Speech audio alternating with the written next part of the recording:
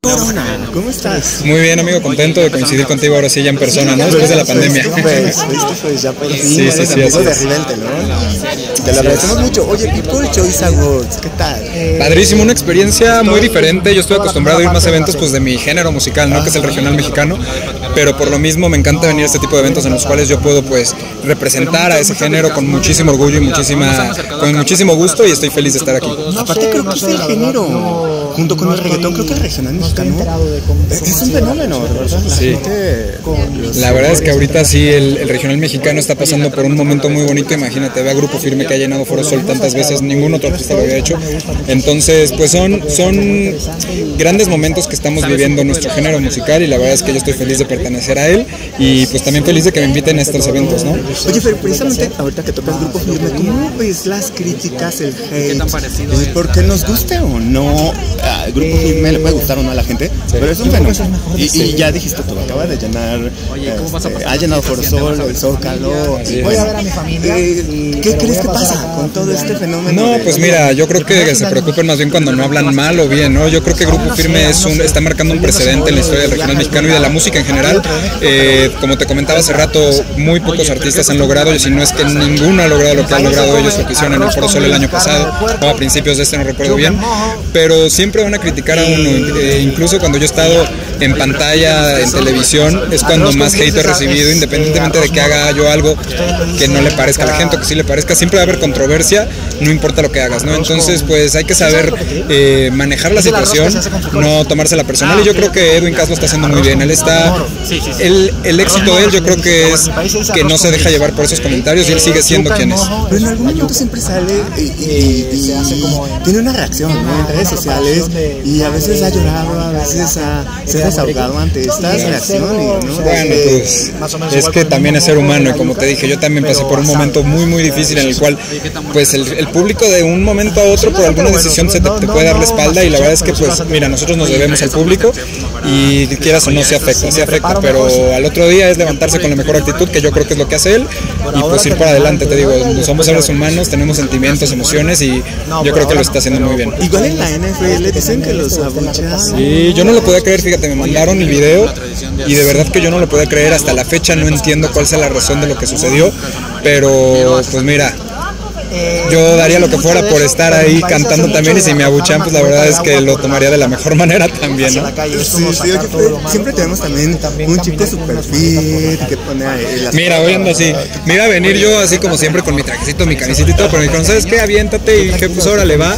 Eh, la verdad es que agradezco mucho eh, a los que me vistieron y estoy feliz, ¿no? De, de, que- de- de estar portándolo un poquito diferente y creo que, creo que se me ve bien, ¿no? Hola a la gente del mundo con David, yo soy Sian, les mando un Sí, son muy-. ¿Cómo los año. Bien, bien, bien. La verdad es que, pues mira, como te digo, a mí me gusta estar ahí siempre en contacto con las fans, en contacto con toda la gente que nos apoya y agra- lo agradezco mucho y sé que también les gusta que de repente pues me quite la playera, que me vaya a la playa y demás y yo soy feliz de... El otro día les hice un live en un jacuzzi, fue todo un éxito, entonces yo no me peleo con nada de eso, aunque digan no, que los gruperos tienen que estar tapados o que sean panzones y demás, yo no estoy de acuerdo con eso.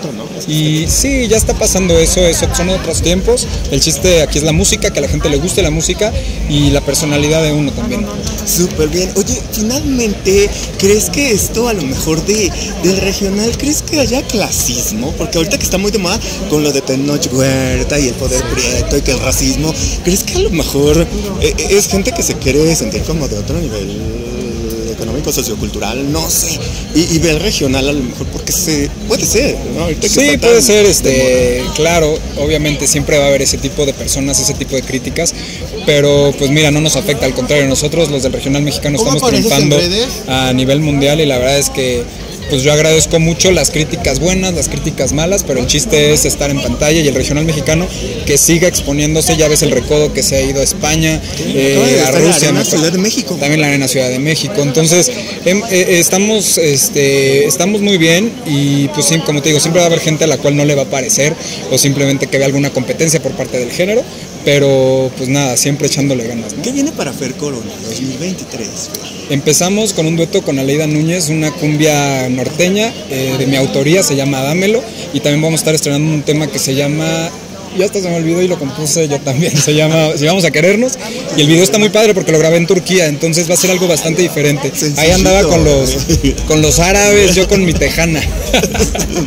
Pero feliz.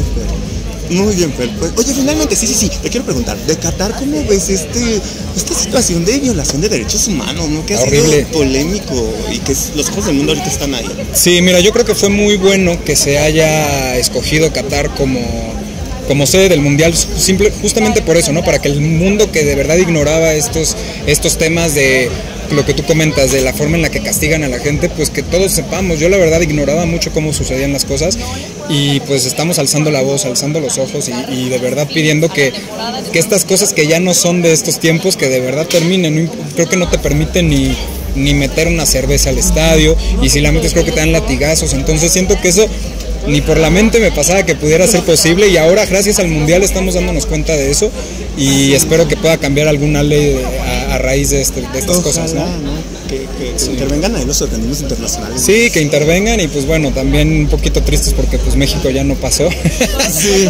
Pero pues mira, son, son juegos, son partidos de fútbol y pues todo puede pasar, ¿no? Uno debe de ganar y uno debe perder siempre. Finalmente, ahora sí, ya que México no está, no, pues ya, ya lo eliminaron, ¿quién es tu gallo? Que, Híjole, no sé qué contestar a eso porque mira, yo ahorita justamente mi manager es argentino. Ajá. Entonces venía platicando con él y le digo, mira, pues no me caen mal los argentinos, me caen muy bien. Y yo soy mucho de que defiendo el talento, no solamente en el entretenimiento, sino también en el deporte.